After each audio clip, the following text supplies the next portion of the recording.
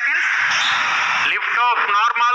Here we have a majestic lift off of LBM 3 M4 rocket carrying India's prestigious Chandrayaan-3 spacecraft. P2 tracking.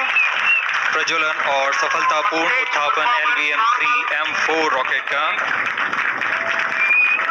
यह भीम का rocket आसमान को चीरते हुए अपनी भयानक दहाड़ से चारों ओर कंपन उत्पन्न कर रहा है जिसे हम यहाँ महसूस कर सकते हैं यही दहाड़ है जो वैज्ञानिकों को रोमांचित करती है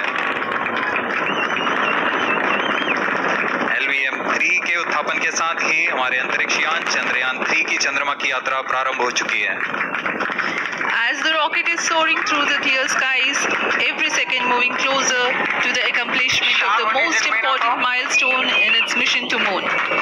Every Indian witnessing the launch live is content with the feeling of watching history in the making.